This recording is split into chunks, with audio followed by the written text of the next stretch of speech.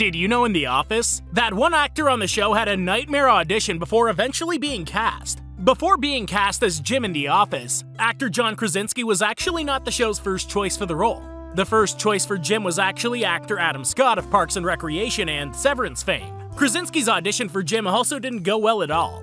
Krasinski was originally supposed to read for the part of Dwight, but convinced casting directors to let him read for Jim instead. In addition to this, Krasinski inadvertently had a conversation with Greg Daniels, the executive producer of the show, in the audition waiting room without knowing it was Daniels he was talking to. When Daniels asked Krasinski if he was feeling nervous, the actor replied, Not really. You either get things or you don't. But what I'm really nervous about is this show. It's just I love the British show so much, and Americans have a tendency to just really screw these opportunities up. Despite this unfortunate run in with Daniels, Krasinski's candor must have impressed producers, as he was picked for the role of Jim ahead of Adam Scott.